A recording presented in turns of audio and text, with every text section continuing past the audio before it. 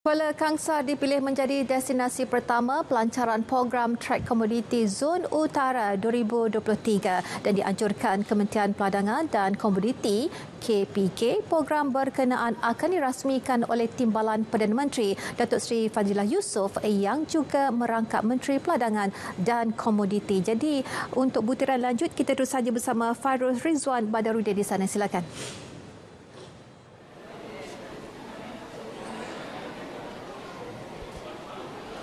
Baik, terima kasih Miza. Saya kini berada di Dewan Tun Hamdan Sekolah Menengah Kemasaan Clifford, Kuala Kangsar, Perak di mana akan berlangsungnya Majlis Pelancaran Program Track Community Zon Utara 2023. Timbalan Perdana Menteri Datuk Seri Fadilah Yusof yang juga merangkap Menteri Peladangan dan Komuniti dijangka hadir bagi merasmikan program ini sekitar pukul 2 petang nanti.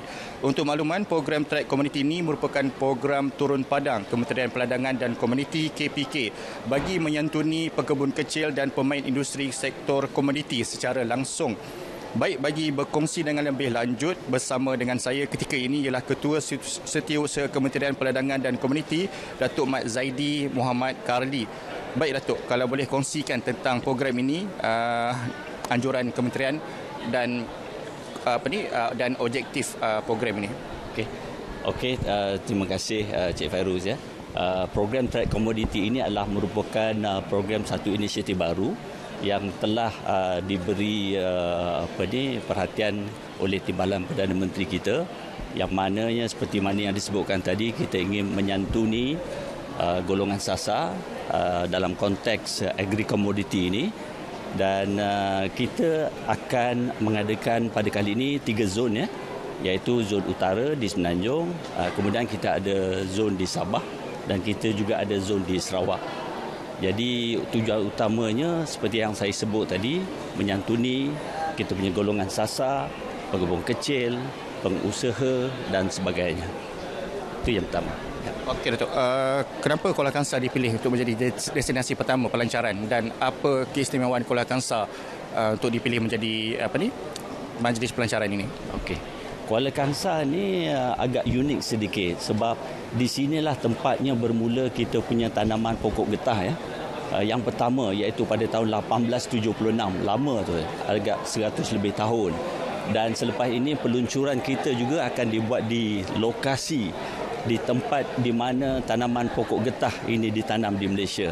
Yang mana kita tahu bahawa tanah pokok getah ini adalah merupakan ataupun sektor getah ini adalah merupakan sektor antara yang utama ya selepas sawit dalam memberi kita uh, sumbangan yang besar kepada ekonomi negara kita.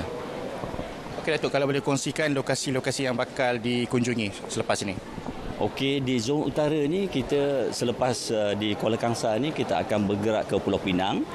Uh, di mana kita akan uh, menemui dengan pengusaha-pengusaha industri perabot ya, sektor perkayuan dan uh, kemudian sejurus selepas itu kita akan ke Baling di Kedah untuk kita melihat uh, dari segi uh, menemui menyantuni pekebun kecil di sana dan uh, seterusnya selepas daripada Kedah kita akan meneruskan melanjutkan pergerakan kita ke Perlis pula di mana di situ kita ada penanaman-penanaman kenaf ya untuk kita uh, menyantuni mereka pula di sana. Terima kasih. Okay, baik Datuk, terima kasih kerana bersama kami di RTM. Baik, saya kira setakat itu perkongsian dapat saya bawakan untuk perkembangan selanjutnya kita kembali ke Angkasa Puri. Baik, terima kasih Farouk.